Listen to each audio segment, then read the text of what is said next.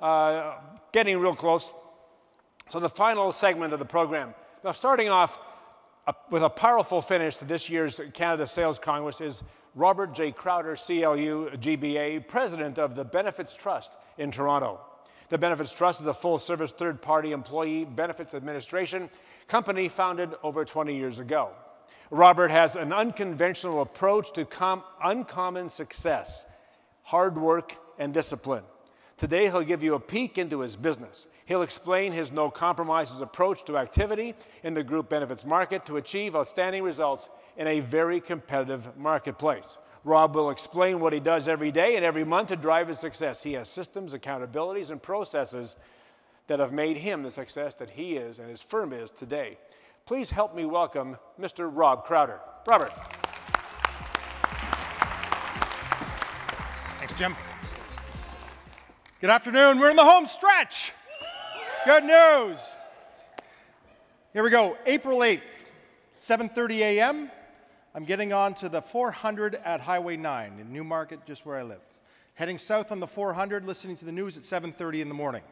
The number one news story that day the 400 southbound lane to the eastbound 401 is under construction and it's down to one lane and will be for the next nine months. That's the number one news story that day because it wasn't a traffic report, it's a news story. And I'm sitting there going, oh man, that sucks. My office is about five kilometers away from that intersection. And then the newscast or the news reporter went on to say, this is one of the busiest intersections in North America. And then I said to myself, fantastic. My office was five kilometers away from one of the busiest intersections, not in Canada, in North America. Think of all the prospects. This is outstanding. I was so excited that day. Oh, by the way, PPI, thank you very much for lunch, and I'm wearing my PPI socks. There we go. One thing that I want to talk about, oh, there we go, is know your target market. Target market is critical, especially when we're talking about group insurance. I don't sell life insurance. I know we've had a lot of discussions about life insurance and investments and so on. I don't deal with individuals, I deal with companies. I deal with individuals in companies, but I sell corporate insurance products. More importantly, corporate group insurance products. Anything that needs underwriting, I don't do. So let's be clear about that. Know your target market. My target market at the Benefits Trust, or our target market at the Benefits Trust, is successful business owners with between one and 101 employees. Successful business owners with 1 to 101 employees. That is specifically what our target market is. In the 416 905 area code, not long distance from where we are right now, there are 50,000 businesses in that target market. Why do we want to deal in this target market? There's 50,000 businesses. First of all, I don't want to deal in that target market. I want to deal with the successful businesses in that target market. Let's just assume for a moment that those successful businesses, 20% of them are really successful. That's 10,000 prospects. I want to deal in this target market for a number of reasons. We've got 1,000 clients in this particular target market. I'm comfortable in it. I speak the language.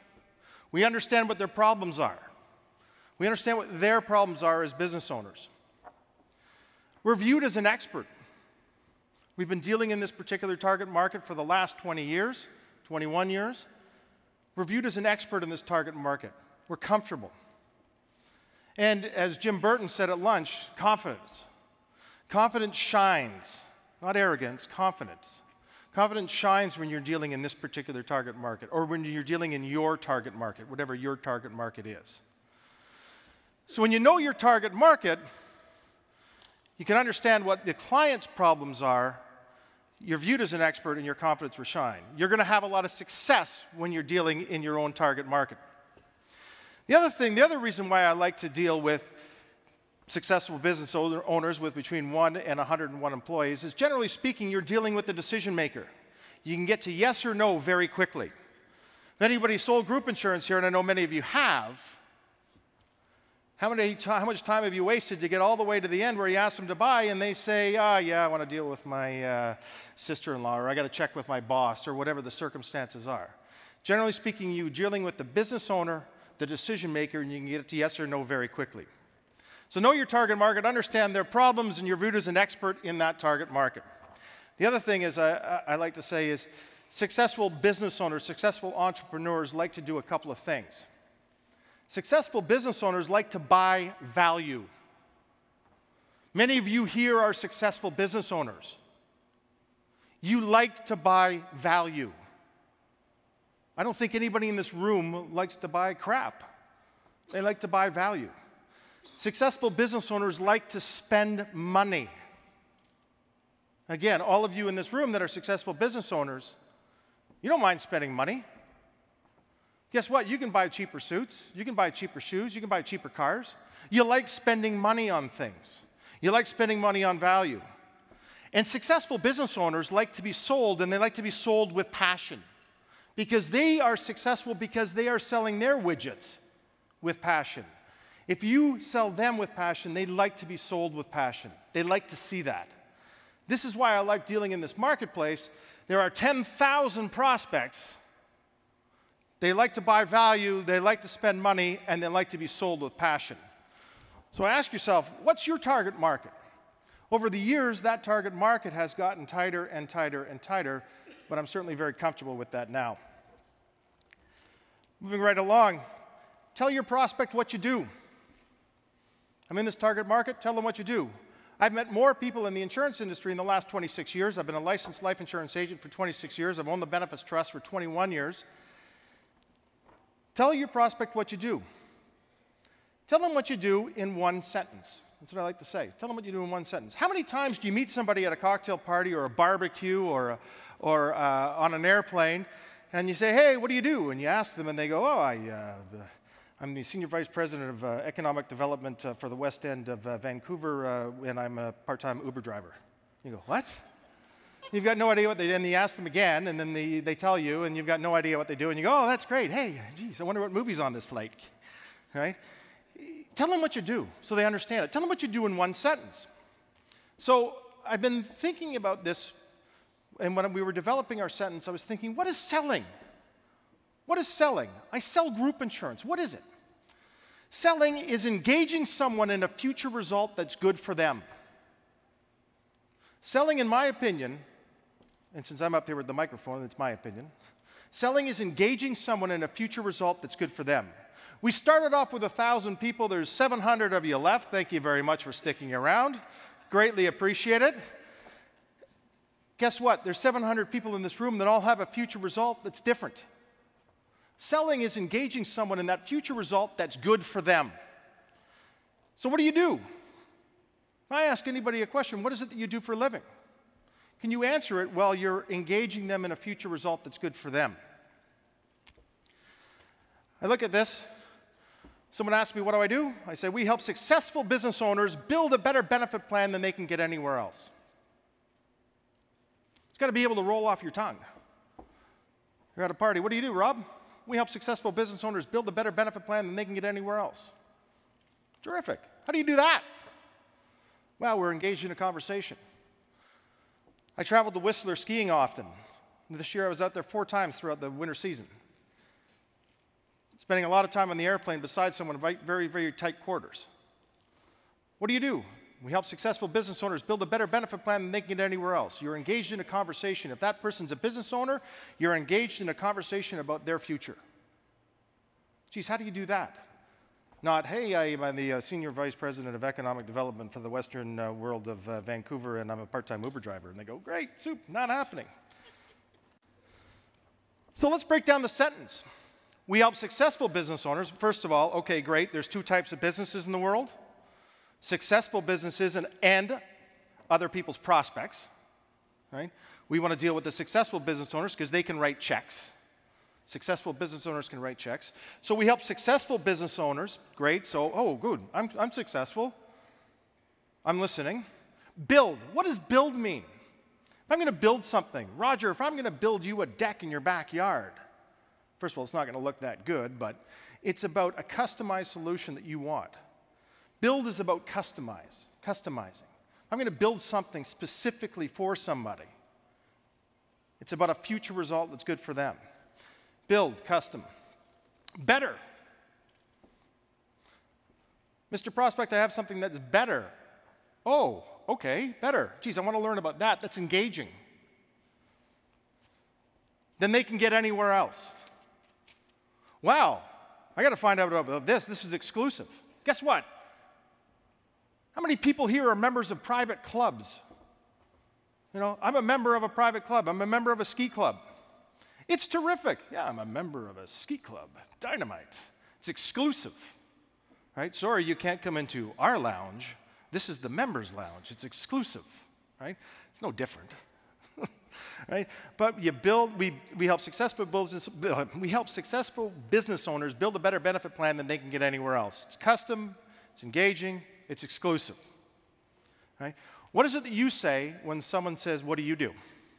Jamie's answer this morning, Jamie Bongard's answer this morning was terrific. I sell life insurance. Terrific. It's pretty black and white. We help successful business owners build a better benefit plan than they can get anywhere else. Let me tell you a quick story. Met a client, this was in the, towards the beginning of April. Met this particular prospect. All I knew about them is a 15, or sorry, they have a 15 employee company and it was an administration company. I couldn't find anything about them on the internet, and it was just a three letter company. You know, it was MNO Limited. And it was this three letter company. I couldn't find anything about them on the internet. I go, hey, I'm going to go and talk to these guys. Met with a particular client, sat down after the usual pleasantries. I said, hey, great. We help successful business owners build a better benefit plan than they can get anywhere else. Tell me about your future path to success. What's going to happen in the next three years? We engaged in a conversation about the future. About 15 minutes into that conversation, he ended the meeting. And he said, You know, you're a little bit different than everybody else, and we're having a terrific conversation, but I want you to come back in a couple of weeks when my two brother in laws are here because it's the three of us that own this business. And we want to have this conversation together. So I said, Terrific. Ended, off we went, followed up. A few weeks later, back to see these guys. Sitting down with the three brothers, or the two brothers and the one brother in law at this. And I started up the meeting again saying, thanks for you know, the usual pleasantries, thanks for having me back. We help successful business owners build a better benefit plan than they can get anywhere else. Tell me about your future plan to success. What's going to happen in the next three years for you guys to be successful? And they went on and on and on. And we had a great discussion, not about benefits necessarily, but about the future of their business and how benefits are a part of that and what we can do to help them with that. And this was a great meeting. And I've had lots of great meetings over the last number of years. I didn't think that much about it. I'm just sitting there in my mind going, hey, this is going really well, and I think it's, this looks like a good prospect, and they've got 15 employees, and this is terrific. Then I ended the meeting, but when I was leaving, I sort of had a little bit of an odd feeling about it because I didn't quite understand some of the answers to their questions. They were a bit vague. They were just a bit vague on some of the answers. But, anyways, I, I, I, left the meeting and I said, you know, thank you very much. And the one guy that I originally met with said, uh, you know, really quickly, give me your cell number. And I go, hey, these guys are going to make a decision quickly, dynamite. 15 minutes later, I get a call in my car. I'm on my way back to the office and he goes, hey, we want to do business with you. And I said, terrific.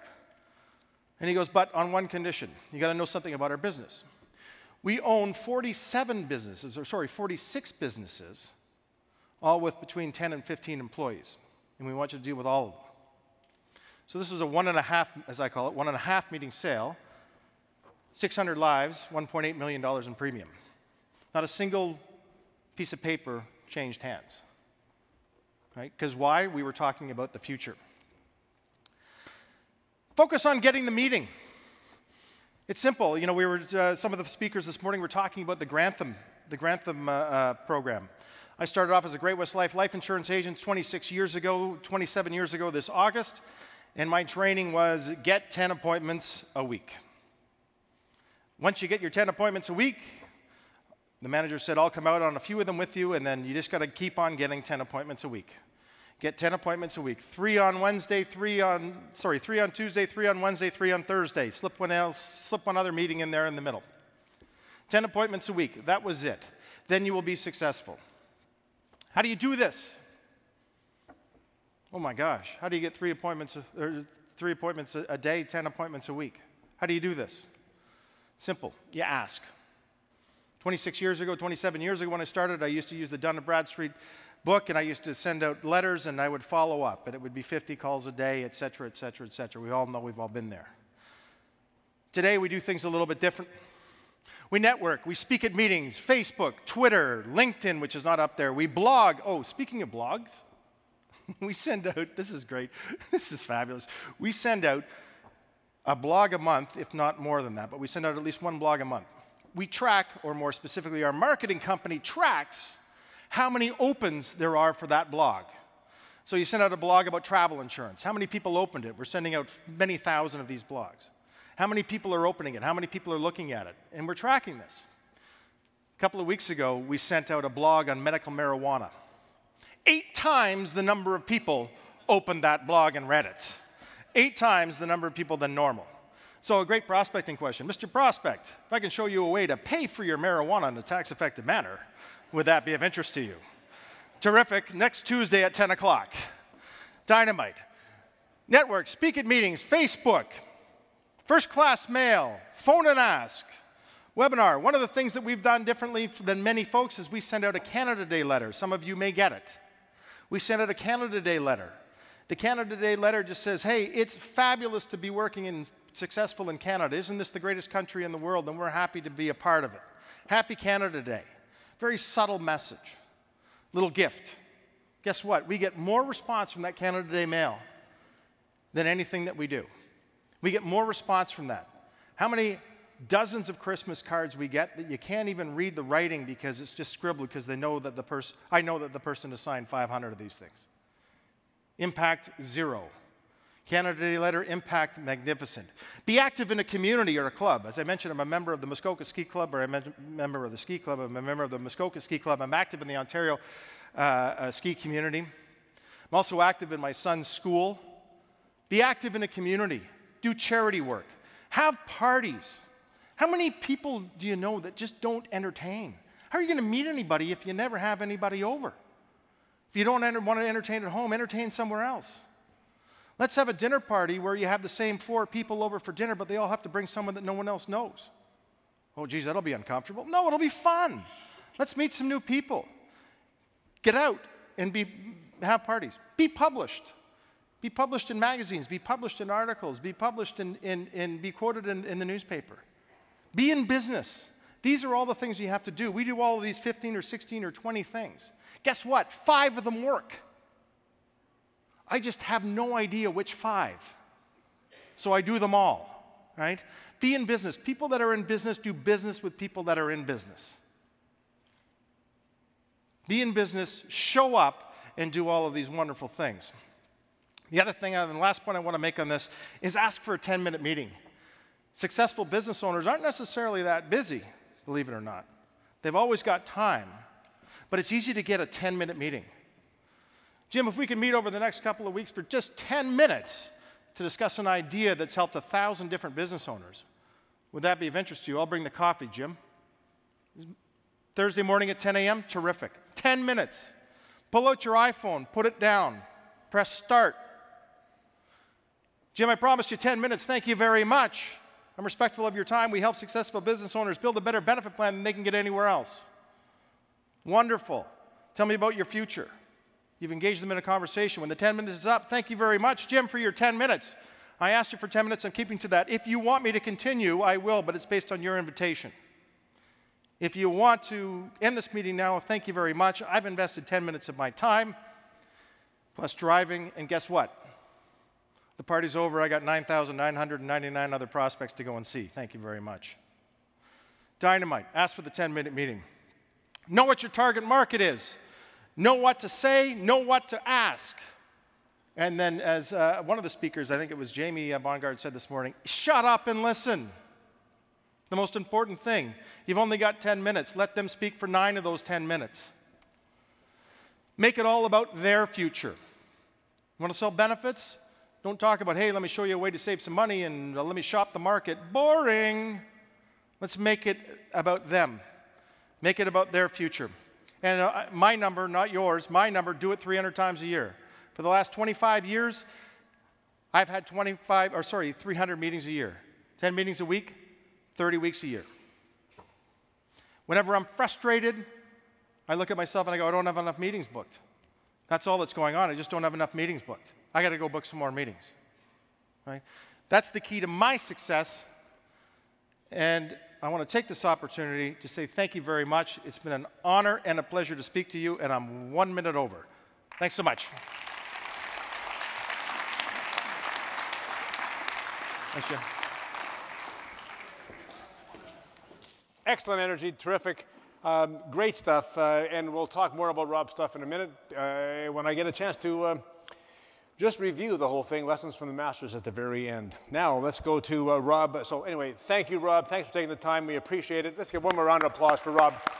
Rob Crowder.